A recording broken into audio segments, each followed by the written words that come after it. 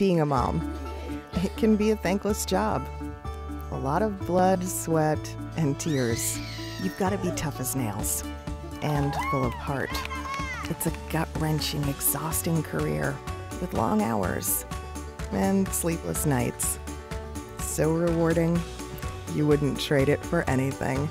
Make sure you're up for the job. Make sure you take care of you too with the Iowa Clinic Women's Center.